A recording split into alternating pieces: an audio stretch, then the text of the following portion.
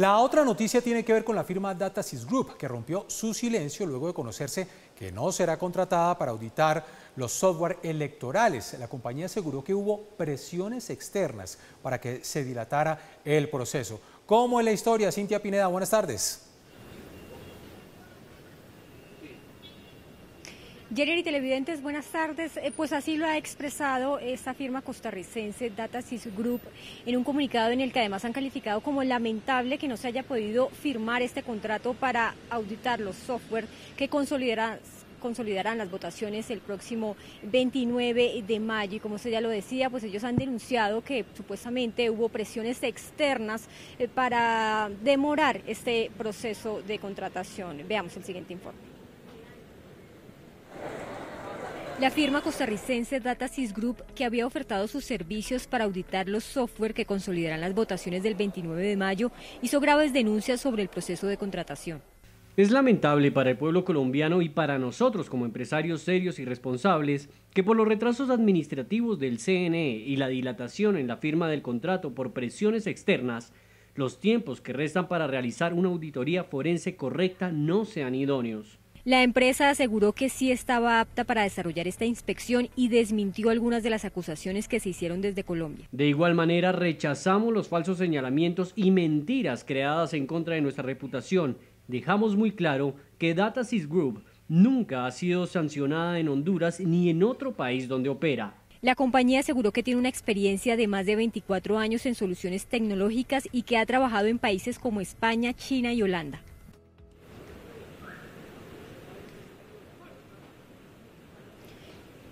Pues una vez se cayó esta auditoría internacional desde la Registraduría Nacional y desde el Consejo Nacional Electoral, le hicieron un llamado a los diferentes partidos eh, políticos eh, para que postulen más testigos electorales y así se puedan eh, vigilar los resultados de estas votaciones. Precisamente hoy, en una sede de la registraduría en el norte de Bogotá, se instaló una mesa técnica con diferentes delegados de las campañas políticas presidenciales, quienes pues estuvieron hablando también con delegados de la registraduría sobre los problemas que han tenido para la postulación de testigos electorales que actualmente es muy baja y lo que ellos han dicho es que no es culpa de las colectividades ni de las campañas, sino que han tenido problemas con esa plataforma y ya entonces desde la registraduría se está evaluando una solución para que no sea una postulación eh, eh, a, través de los municipios, sino que sea una postulación a través de una plataforma nacional. Veamos lo que dijeron algunos delegados de campañas. Básicamente, insisto, es el tema de abrir el canal de nivel nacional, el hecho de que nosotros tengamos una plataforma única donde podamos cargar todos los municipios, de las registradurías de todos los municipios, postulados de todos los municipios, eso nos da la posibilidad de, de mejorar eficientemente la postulación y a ellos también la posibilidad de que suban a la plataforma de testigos eh, de una manera más fácil. Quedó claro que en, la reunión que tuvimos hoy que no es un tema de, demoras en los partidos políticos, es un tema de que se tienen que adelantar los cargos. Es decir, si no hubiesen esas dificultades, pues no estaríamos estableciendo una mesa técnica ni los mecanismos para solucionar los conflictos.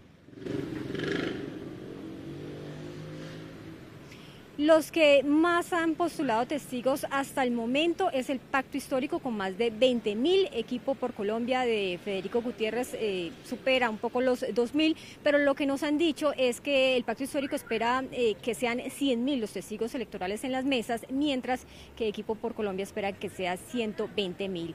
Ellos tienen plazo hasta el viernes para postular a estas personas. Es por ahora toda la información. Cintia Pineda, Redman Noticias. Muy bien, Cintia, gracias. Mientras tanto, le cuento que el presidente Iván Duque le pidió a la autoridad electoral que haga la contratación para la auditoría internacional. Aseguró que es deber de la registraduría y del Consejo Nacional Electoral dar las garantías de transparencia mientras el gobierno ha tomado todas las medidas para que los colombianos puedan salir a votar. Nosotros solicitamos públicamente que se adelantara una auditoría externa para que pudiera revisar el proceso electoral de las elecciones de Congreso y sobre todo los software. Y esto fue una solicitud que se hizo también interpretando el sentir de muchos ciudadanos y también de representantes de partidos y movimientos. El 2 de mayo, el gobierno nacional procedió a girar los recursos.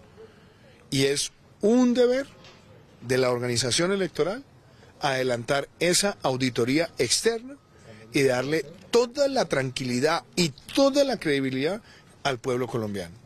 Así que hago un llamado a las autoridades electorales para que los recursos que ya se giraron sean destinados a la contratación de esa auditoría externa y que los resultados de esa auditoría externa se le transmitan a todo el país.